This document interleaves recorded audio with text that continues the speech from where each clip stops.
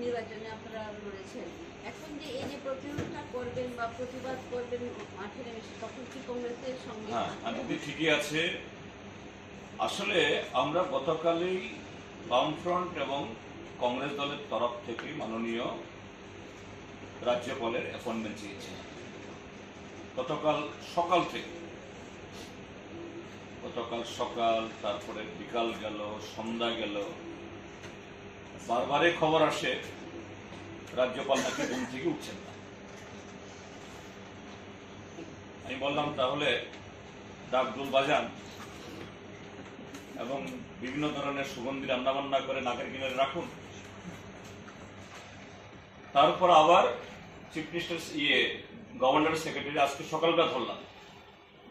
ঠিক আছে, গতকাল সারাদিন রাত ঘুমিয়েছেন তিনি। মহামান্যগর উঠেছেন কি? গভর্নরের কাছে তো সোমবার রবিবার তো ই হতে পারে। আমরা চাইছি আজকে হলো আজকে যাব। এবং সেক্রেটারি মহোদয় বলছেন স্যার যখনই তিনি বলবেন আমি সঙ্গে সঙ্গে খবরটা রেডি থাকব। আমরা আমরা দশ মিনিটের মধ্যে এসে যাব।